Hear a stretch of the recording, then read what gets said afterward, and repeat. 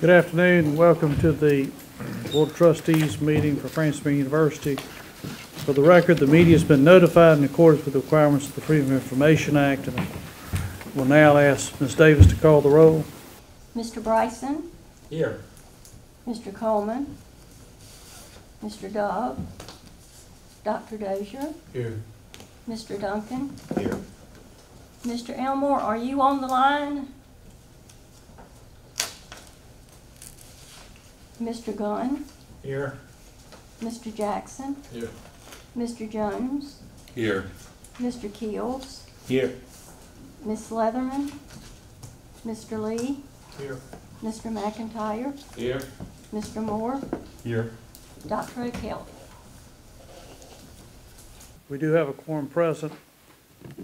Now turning to the agenda, we have first item is the, are the minutes from November 14, 2019. Are there any additions or corrections? Recommend approval. Second. Motion by Mr. Dozier, second second Mr. Jackson. All in favor, say aye. Any opposed? Go now on to the committee reports, executive affairs. Um, We've met- met this morning, concerning resolution. And the executive committee is unanimously uh, recommending resolution 01-20, approving the Bachelor of Science in Visual Arts Education at Francis Marion. You all have the resolution, so I'm not going to read it to you. Uh, Do I have a second to the executive committee motion, please? Second. Second, by Mr. McIntyre. Any discussion? All those in favor, signify by saying aye. aye. Any opposed? We'll now go to academic affairs. Mr. Bryson. Thank you, Mr. Chairman. Academic Affairs and Accreditation Committee uh, met today. We- We received a number of, of excellent reports, including uh, faculty governance, College of Liberal Arts, School of Business, School of Education, School of Health Sciences, and the library. We also received an- a a very impressive report from Enrollment Management. Um, This spring 2020, our enrollment stands at 3,765. That's an 11% increase from um, spring a year ago. Um, We also um, have seen a 9% increase in freshman applications for this coming year um, over last year. Three McNair scholars have been chosen and have accepted the scholarship and will enroll this fall as well. Uh, From the Office of Admissions, um, they've um, hosted an open house on February the 8th, and two more are scheduled for March 7th and April 4th. And um, they're also preparing to hold eight new freshman and transfer orientations later this summer. And finally, from the registrar's office, at December commencement, 221 undergraduate degrees were awarded, 77 graduate degrees were also awarded, and plans are underway for spring commencement, which will take place on May the 9th. That concludes my report. Thank you, Mr. Bryson's questions for Mr. Bryson. Hearing no questions, we'll now move to development and alumni. Mr. Moore. Thank you, Mr. Chairman. Uh, We had several uh, presentations. First, Lauren Stanton presented the Development Foundation report. Uh, She announced they've got a couple of new hires. Ashley Cartret is the new Administrative Coordinator for Finance and Account Management, and Kayla Wilson's the new Program Coordinator for Scholarships. Uh, They've had several events uh, past and upcoming. On February 10th, they gave out over 200 tickets, majority to alumni, to the Florence Symphony. Uh, The Education Foundation Scholarship ship reception was uh, here this Tuesday, and around 200 scholarship donors and recipients were in attendance. The 50th gala is coming up on April 7th, and the Education Foundation Golf Tournament uh, is coming up on May 21st. Additionally, the Education Foundation's received a number of new scholarships. Uh, There have been multiple endowed scholarships, an education scholarship, international fund, and a donation of property. Uh, Next, we've moved on to the Alumni Affairs Report from Mr. uh, Lee Darkey. Uh, He reported that the School of Education had an event the week of homecoming with over 70 people in attendance. Homecoming evening, they had over 100 people attend an event that evening. Uh, They had a tailgating reception where 400 to 500 pictures were uploaded uh, with the event hashtag. And of course, tonight, we've got our alumni awards reception at the PAC. And Monday, there's a Department of Psychology alumni event, and the 31st there'll be a School of Business alumni event. Finally, we heard from Teresa Rainey, the Regional and Community Affairs Report. Uh, The University Place Gallery has had over 1,500 visitors. Uh, Their most recent exhibit is the Blood and Honey exhibit that's going on. Uh, The PAC's got multiple events coming up. The Temptations are sold out. Uh, The Columbia City Ballet and School of Dance is presenting Cinderella. Welcome Home Vietnam Vets is coming up. Uh, South Carolina Dance Theater is presenting Sleeping Beauty. The FMU Music Ensemble is uh, upcoming, as well as a production of the Song of the New World by the FMU Theater. And the Leadership Institutes have current sessions wrapping up in April. Uh, There's additional programming there in May, and the Richardson Center for the Child was recognized uh, by ABC Quality Care through DSS recently. And that concludes my report. Thank you, Mr. Moore. Questions, for Mr. Moore? Hearing no questions, Mr. Moore, we'll now go to finance and facilities. Mr. Gunn? Thank you, Mr. Chairman. Uh, The committee had met today and was presented with information by Darrell Bridges for the climate report. The committee had two action items for your consideration today. In tab four of your packet, you'll find resolution 02-20 for the issuance of athletic facilities revenue bond series 2020. The Resolution follows up on the one we passed last June and approved the university to seek refinancing and new funding to renovate portions of the Smith University Center and complete the field house in the Griffin, Griffin Athletic Complex. The refinancing will reduce the interest rates of the current bond and result in net savings of over six hundred thousand dollars. And the new issuance will take advantage of a very favorable bond market. Bonds will be serviced from the existing fee structure and no increases will result from this action. This resolution is recommended by the Finance and Facilities Committee. Resolution comes from the finance committee. Um, Is there a second? Second. Second by Mr. Moore. All in favor, say aye. Aye. Any opposed? Resolution passes. In tab five of your packet, you'll find resolution 03-20, a resolution for an adjustment of dining and housing service fees. The resolution provides for a modest increase in meal plan rates of three percent to continue meeting increased costs and provide high-quality services for students. It also provides a modest increase in the rates of a campus apartment to meet the maintenance and operational needs of those units. No increases in the residence hall dorm units will result. This resolution is recommended by the Finance and Facilities Committee. We have a motion from the finance committee on 03-20. Do I have a second to that resolution? Second. Second by Mr. Moore. All in favor, say aye. Aye. Any opposed? Motion carries. The committee received a budget summary report that indicates both fall and spring revenues are ahead of projections due to strong enrollment, and that expenses are aligned with expectations for this time of the year. And finally, the committee discussed the ongoing development of new facilities. The Honors College and the Leatherman Medical, the education complex are both well underway and on schedule. The Freshwater Ecology Center is in developing design, build team selection. Process for the project is underway. And, um, Chairman, that completes my report. Thank you, Mr. Gunn. Questions Mr. Gunn? Hearing no questions, Mr. Gunn, we'll now go to student life and athletics. Mr. Duncan. Uh, Student Life and Athletics Committee, Mr. Chairman and Board of Trustee members. Uh, We heard from, uh, first from Ms. Kendra Mason. Uh, She reported on homecoming week, uh, silent party and disco. Uh, For homecoming week was one event, they had a golden mixer, which was a game night and social for students, and a bonfire night, uh, which they had hot cocoa and uh, popcorn, nachos, and cheese.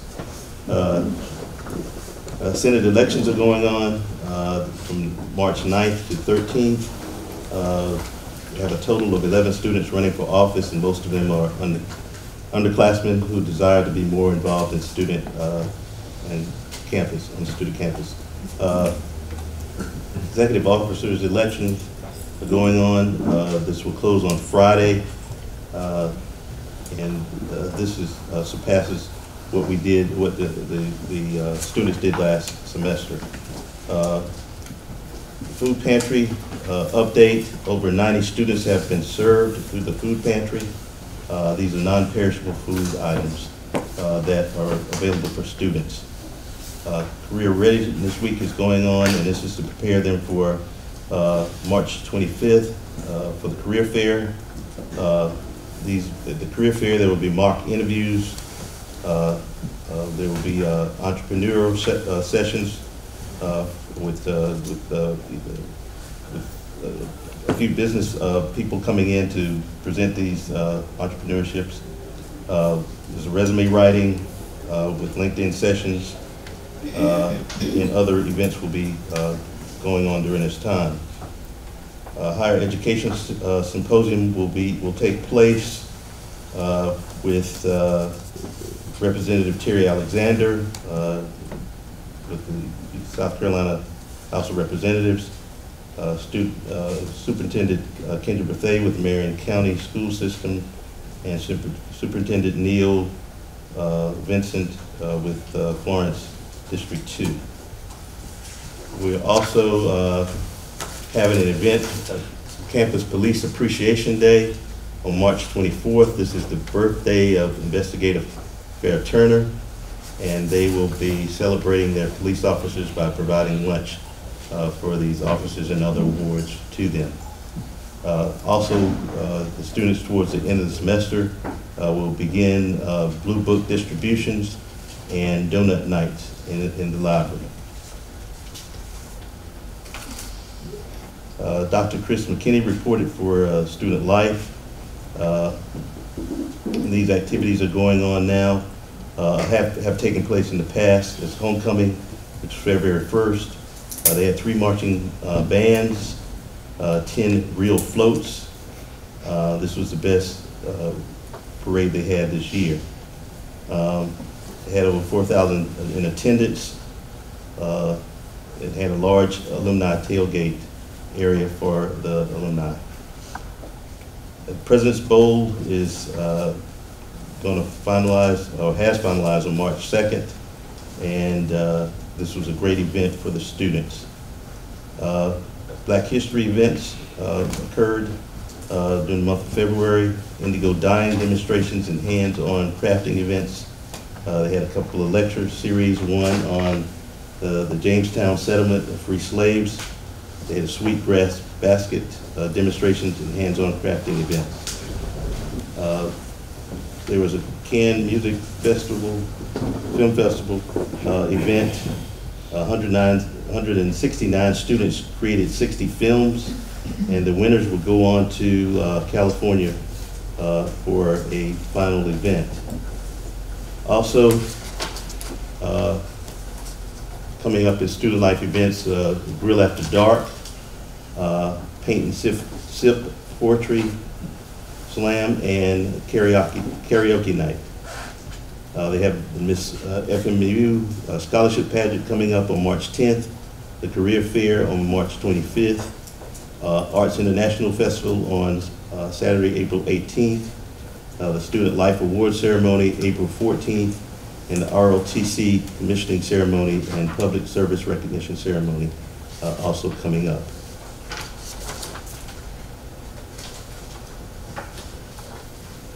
Mr. Murray Hartzler announced uh, that we have a new soccer coach, Ms. Chelsea Parker.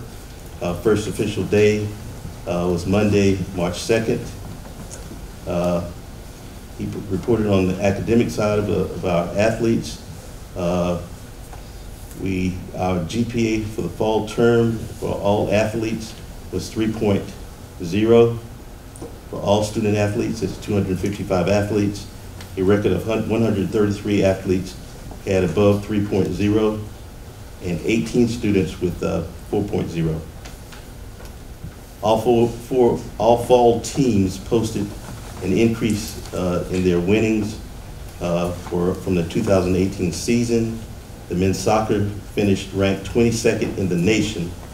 Uh, The team lost in the second round of the NCAA national tournament.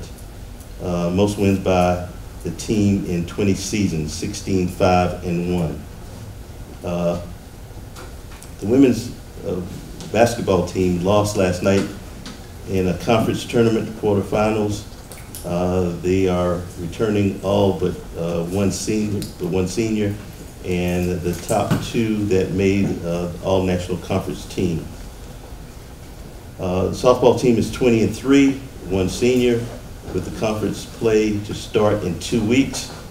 Uh, Women's cross country earned all academic team national recognition uh, for the third, uh, for the third consecutive year. And uh, the athletic auction is April 30th.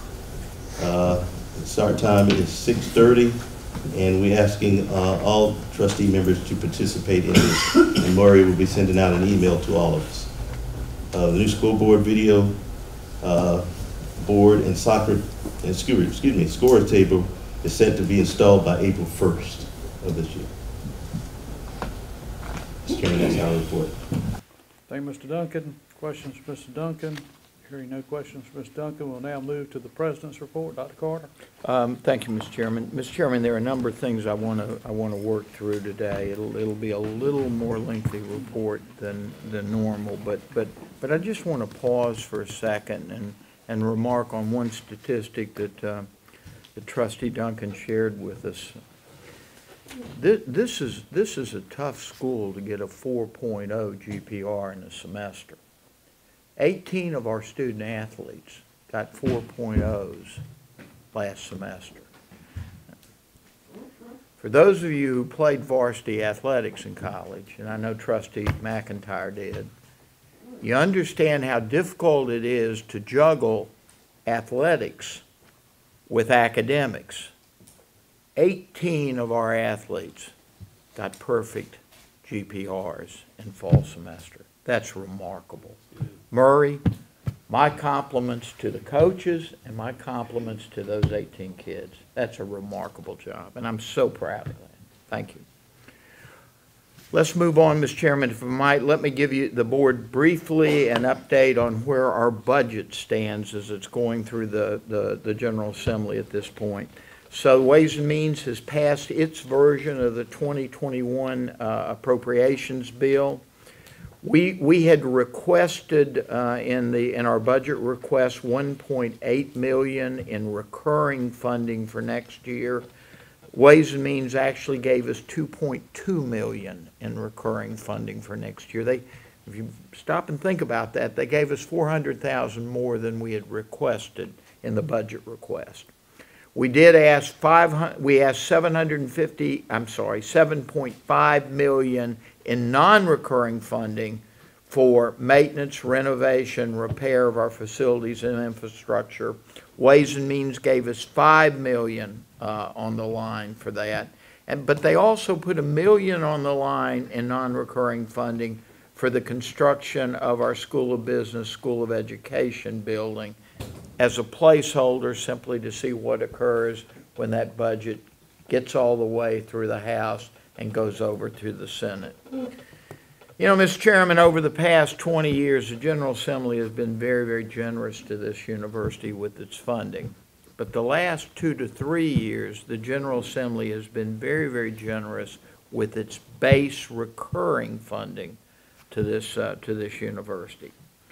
Should the Ways and Means budget hold, the, the, particularly the recurring funding and, and that base funding, should that money hold through the House and through the Senate, and I'm comfortable that it will, we'll be coming to the board in June recommending that we freeze tuition again next year for the second year in a row. I think that means, um, I think that means a lot to our parents and our students.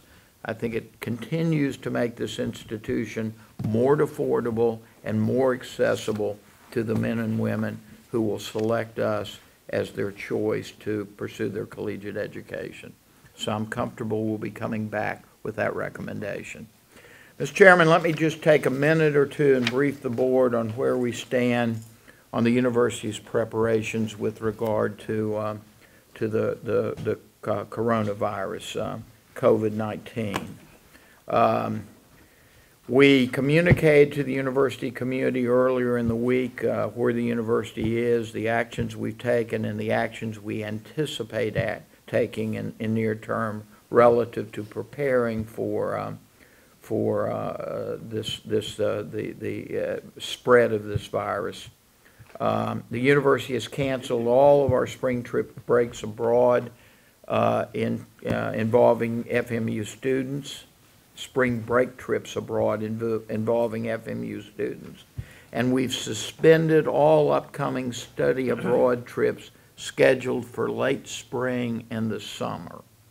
Uh, We've done that for two reasons. We've done that, one, because the CDC has recommended that, and that seems to me like a sensible recommendation.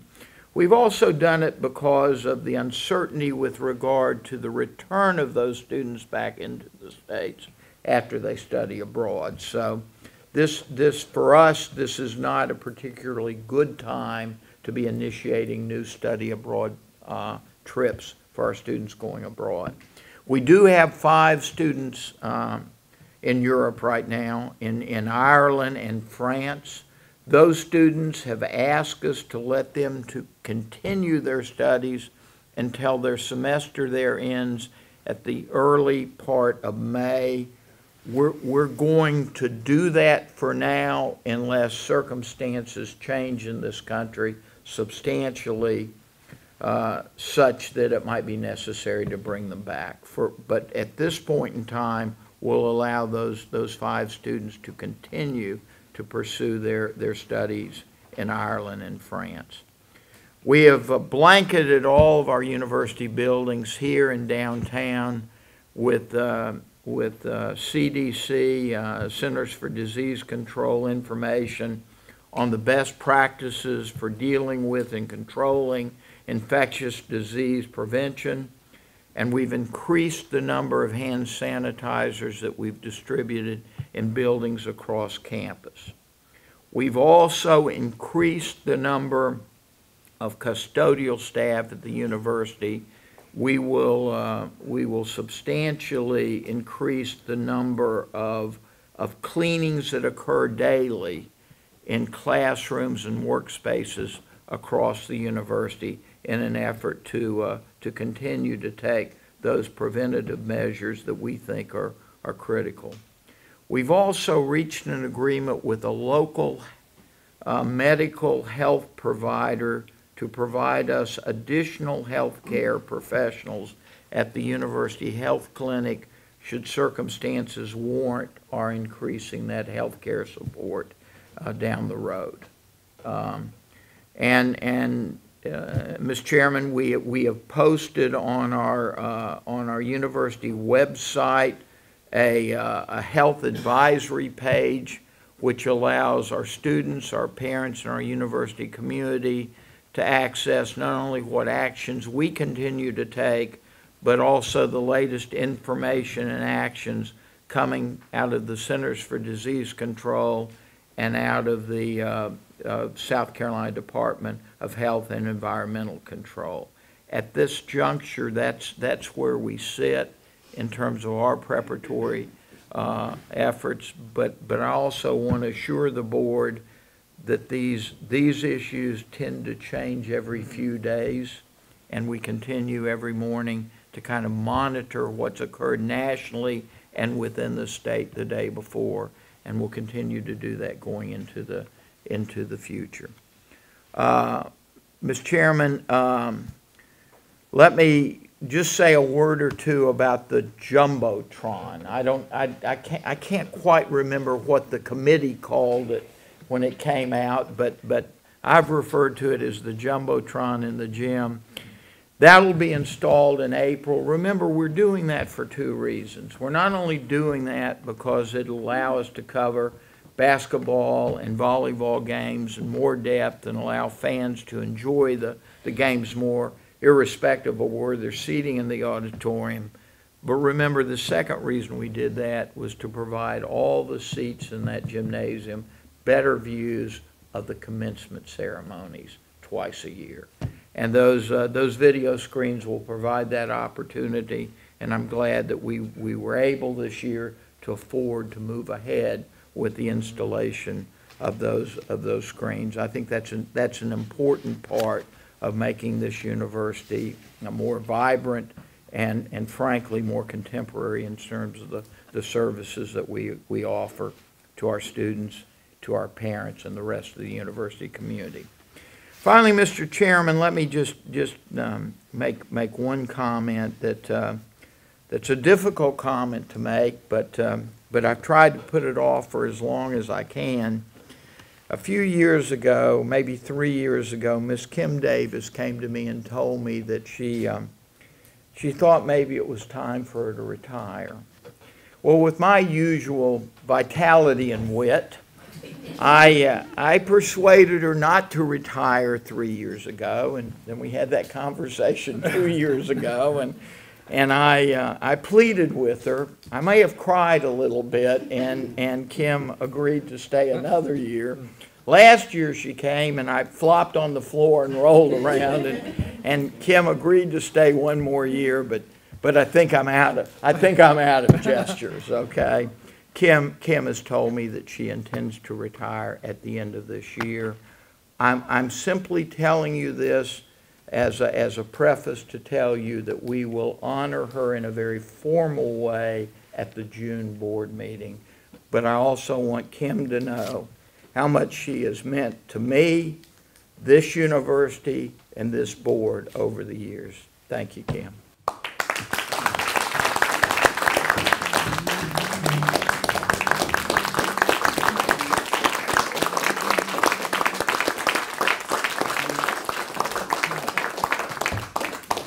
Mr. Chairman, that concludes my report. Any questions for Dr. Carter? Hearing no questions for Dr. Carter, I'm not aware of any unfinished business, not aware of any new business, not aware, we don't need an executive session. So I have a motion to adjourn.